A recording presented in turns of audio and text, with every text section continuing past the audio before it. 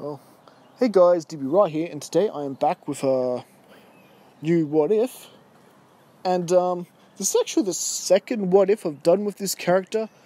I believe the first one was What If What if Videl survived the um, future timeline, which is um, you know the future Trunks timeline, Android 17 and 18 killing people and stuff. Which that was a fun little series, and I thought it was about time to do another one with Videl. And um, this one is What if Videl trained like Gohan? And um, well, just what I mean by that is, is what if she was able to reap more benefits from that training? So basically, our story begins pretty much just prior to the prior to the Buu arc starting, and um, Great Saiyaman, aka Gohan, has had his identity exposed by Videl, who um, basically, of course, has promised not to reveal his secret on the condition Gohan fights in the World Martial Arts Tournament, and of course, teaches her how to fly. And, um, well, for the most part, Videl learning to fly pretty much goes on like it does per normal, and um, her beginning to um, scrape the tip of the iceberg on how energy works, but rather than just leave to train on her own, she suddenly begins to realize that training with these everyday fighters, um, Her- Hercule's personal trainers that he hired to help train Videl, I don't know, whoever they were, and um, all the punching bags she's busted and broken, it has basically become clear to Videl that this everyday training is just not doing it for her anymore. She, she's craving a challenge, and nothing challenged her more than um, learning to fly. So why not dig into this? What did Gohan call it? This ki energy? Oh no, I'm not letting Gohan off the hook that easily. So with that, Videl has pretty much returned and wants to know more about this. And well, it just means Gohan and Goten are just gonna have to try and manage their time better to get their own training in. But since, as it turns out, Gohan likes having Videl around, he's not gonna turn her away. And um so now becomes some more advanced ki energy training moments. And um essentially they are going well. In terms of um, sparring and um, flight, Videl's actually not doing too bad. She's getting used to um, being able to fight while in the air. Not that she can um, match Gohan or Goten in any way. They are way, way, way and a lot stronger. They are holding back massively.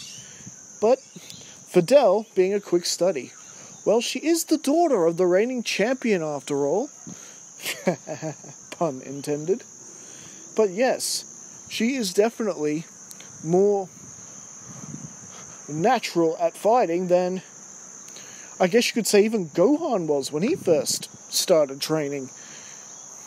And um yeah, she does go home with um a couple of bruises, which has um her dad worried a little bit. I mean, what is she doing out there? But essentially, she is learning and becoming more skilled and adept to um, aerial combat, and is um, learning to fly faster and um, for longer as well. So she is at least building up the stamina. The only thing she's having really trouble with is being able to um, produce a bit of energy out of her hand and maintain it enough. In other words, she's having trouble firing ki blast. She isn't quite there yet. And, um, well, eventually,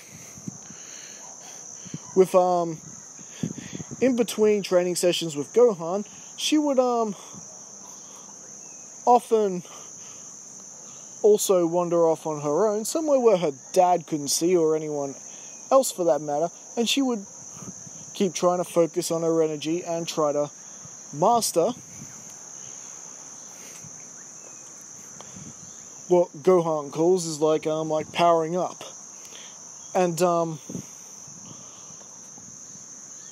well, it's definitely there, and there are glimpses when um she's sparring with Gohan that a bit of um her latent potential actually does begin to leak out a bit, and she actually does hit a surprising hit on Gohan. And again, remember, Gohan is holding back very much so. Very much so to the point that whatever Videl does do can surprise him. And, um, well, time has basically run out for her to basically figure all that out because now it's time for the World Martial Arts Tournament. And, well, this is where she, um, is introduced to the entire gang. And she can't really put her think- finger on it, but she can't help but feel that she's seen most of these people before.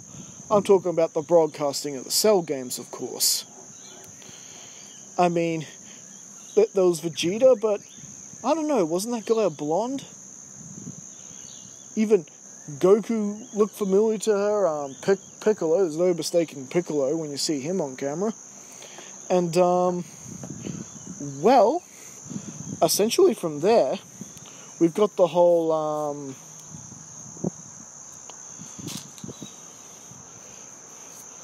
um, preliminary test happen, the punching machine, and um, pretty much all that pretty much goes off like it does in the original, including the junior division of Trunks winning the um, junior division, defe- defeating Goten in the finals, and um, Videl is just kind of hoping that she could fight to that level someday. And, well, she does know about S- Saiyans, because she spent more time with Gohan, there was no point in hiding the fact. And, um, she honestly thought it was a joke, I mean, right up until Trunks and Goten went Super Saiyan in front of her. And, um, well, when that basically wrapped up, we got the um, adult tournament where Krillin beat his opponent no problem, and then we got the second match of um, Videl taking on Spopovich, like in the original. Now, this is where things begin to differ from the original story because Videl is very much holding her own against Spopovich. As much times as she's beating him down, like we see in the original, and he vice versa trying to beat her down, Videl keeps getting up. Videl keeps getting up, and she's in nowhere near as in bad condition as she is in the original story. She can keep going, and she um, has learned how to fly and use that more that he she's able to keep away from Spopovich's overwhelming power. Even um, dodging the um, ki blast that Spopovich blasts her with in the original. Yeah, she's able to do- perfectly dodge those. And, um, well, it's essentially, basically, an even fight between the two.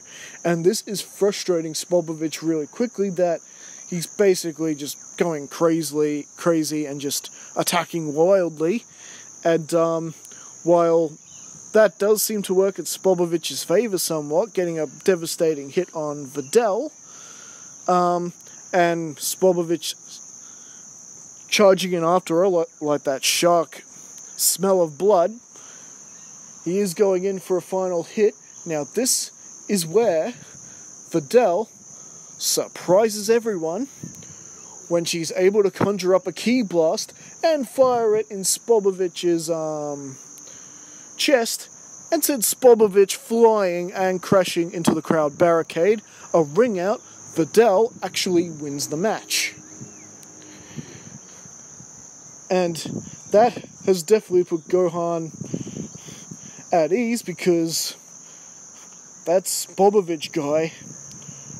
Yeah, that there was something not right about him happening there. And well, So with that, v- Videl would advance to the next round, and then we got the whole Gohan, Gohan battling with um, Kibito. And well, we pretty much know how that goes. Well, I suppose v- Videl's match would have been the third match now that I think about it, because yeah, Piccolo quits to quits to the Supreme Kai. Yeah, I, forgot about that. And I just played that part in Dragon Ball Z Kakarot as well. Doi. Anyways, bottom line is it's now Gohan's turn to fight Kibito, and that goes down exactly like it does with the original. Spopovich wasn't in that much of a terrible shape. He, wa- he was able to um, get himself together to help Yam- Yamu pin Gohan down and steal his energy, and they essentially fly off to, um, as we know where they're heading, they're heading towards Babidi's spaceship. And now Supreme Kai is looking to pursue after them and try and put an end to this before it starts. And of course, he tells the Dragon Team that they're welcome to follow him. And of course they do. Gohan is healed. Kibito fly off, and of course so do Videl and Gohan. And I think, at least for now, that's where we're going to leave things. So just, just a nice quick start.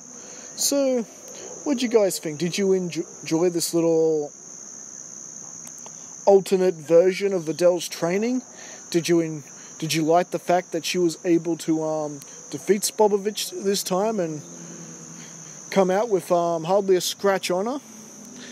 And well, let me let me put it to you this way. I think a lot of us wish the um, original Spopovich and Videl fight never happened. I mean, that fight did go pretty far, if not too far. So, at least in this story, Videl got to get a little bit of revenge this time and actually win her match. So, as always, leave your thoughts in the comments. Don't forget to like and subscribe to the channel, and I'll be back again next time. Catch you later.